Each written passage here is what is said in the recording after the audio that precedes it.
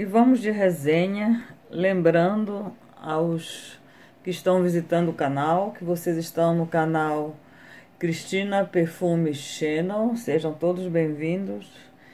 E não esqueçam de deixar o seu like, o seu joinha ou seu positivo. Eu sou Cristina e vou fazer mais uma resenha hoje. Já é a segunda, aproveitando o meu fim de semana para para deixar o conteúdo do meu canal em dias, gravando mais uma resenha agora do C8 Privé de 2017 da marca Carolina Herrera e o perfumista é o famoso Dominique Ropion que já fez aí vários perfumes maravilhindos, inclusive esse, o C8 que foi uma indicação da minha querida amiga Maria Inês. Maria Inês uma vez me falou se eu conhecia, eu disse que não conhecia, mas que ia, ia conhecer. Então agora ele já faz parte da minha coleção, o C8 Privé. E ele tem como notas o couro, a baunilha, o patchouli, o osmanthus e o caviar. Então, Olha só. Olha só que embalagem linda. Esse lacinho aqui é de couro. Lembrando que couro é uma nota que tem no perfume. As iniciais de Carolina Herrera, né? CH, como eles dizem em inglês. Em português diríamos CH, mas em inglês eles dizem CH. Está para Carolina Herrera. É, uma, é um frasco pequeno de 30 ml. Aqui em cima, de novo, as iniciais dela. Como já falei para vocês, o lacinho é de couro. Deixa eu abrir aqui o borrifador.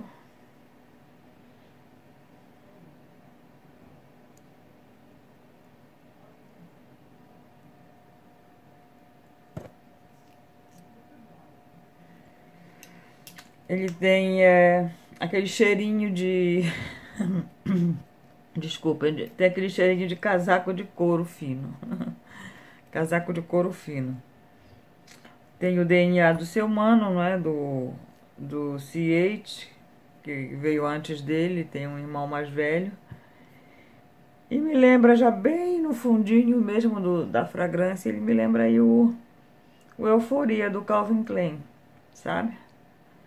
E a, fixa, a fixação dele na minha pele é boa, mas é, ele exala muito pouco. Não é aquele perfume que vai chamar atenção exalando, sabe?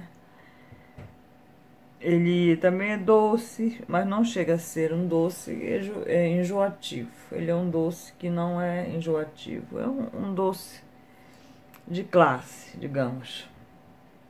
Por isso faz essas características dele fa fazem dele um perfume aí muito coringa.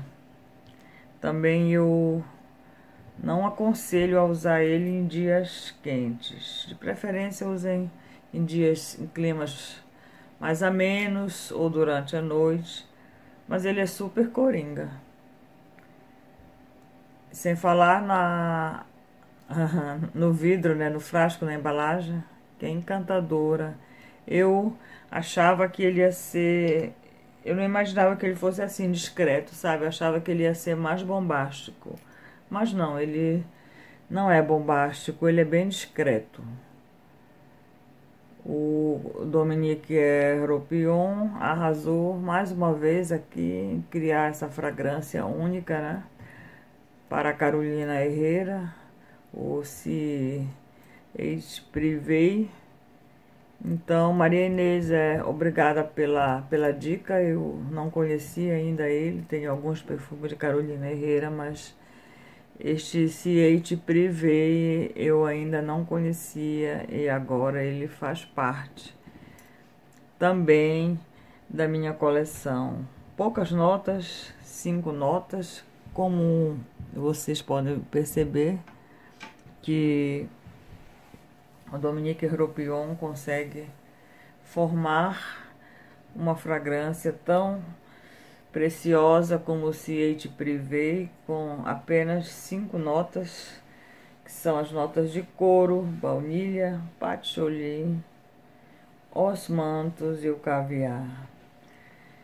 Pessoal, essa é a segunda resenha de hoje dos perfumes. Todas as resenhas que eu faço são perfumes que eu tenho na minha coleção, são perfumes que eu uso, que eu faço rodízios, por isso eu também tenho os usados da semana, que é para eles não ficarem parados. Então, todos recebem uma, uma chance de não ficarem no esquecimento.